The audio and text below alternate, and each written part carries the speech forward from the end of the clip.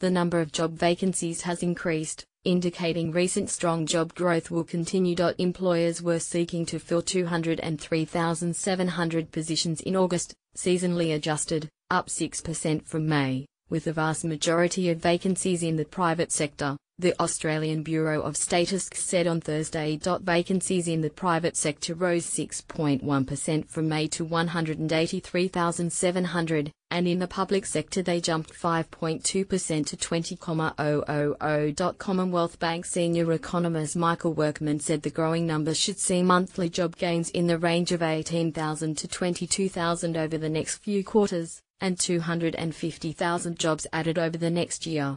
It will add to the already robust jobs growth of 325,000 over the year to August, he said. Mr. Workman said that should be enough to keep downward pressure on the unemployment rate, given the very gradual downward trend in the participation rate as the population ages. He expects the unemployment rate to be around 5.4% by the end of 2017 from its current level of 5.6%. Mr. Workman said vacancies have continued to trend higher for the mining sector, due to higher iron ore prices.